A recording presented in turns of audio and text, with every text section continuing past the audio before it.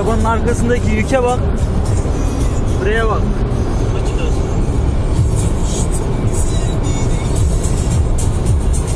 İsmail Değika. Yine gördük. Evet.